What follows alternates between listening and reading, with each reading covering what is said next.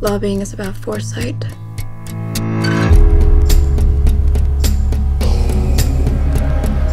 About anticipating your opponent's moves She's your enemy now. and devising countermeasures. How the hell did she manage that? You're a piece of work, Elizabeth. I was hired to win. I use whatever resource I have.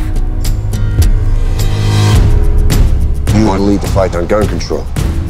There's over five million of us, and we're armed. Start an inquisition.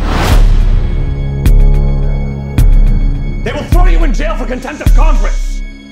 The winner plots one step ahead of the opposition. We have to make it personal. You know the word annihilate? It means reduced to nothing. This is more important than my career. It was mind-boggling, You crossed the line. ingenious, about making sure you surprise them. And they don't surprise you.